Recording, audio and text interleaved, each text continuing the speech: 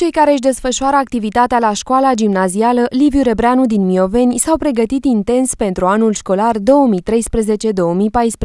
Cadrele didactice și personalul auxiliar au avut grijă de aspectul unității, iar elevii să-și pregătească ghiozdanul cu cele necesare. M-am pregătit, mi-am luat caiete, pixuri, cărți.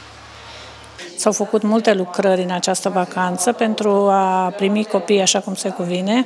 Clasele arată destul de primitor, s-au parchetat clasele pregătitoare, s-au zugrăvit corpul B toate clasele și holurile, s-au schimbat parchetul în cele două cancelarii, iar pe casa scărilor în corpul A s-a schimbat lambriul. De asemenea, a reamenajat intrarea elevi corp A, și s-au pus pavele pe trecerea pietonală dintre corpul A și B.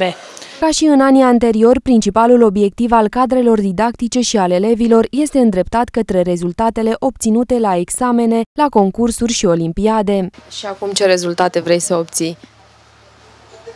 10. 10 pe linie, nu? Da. Ce premiu ai luat? 2.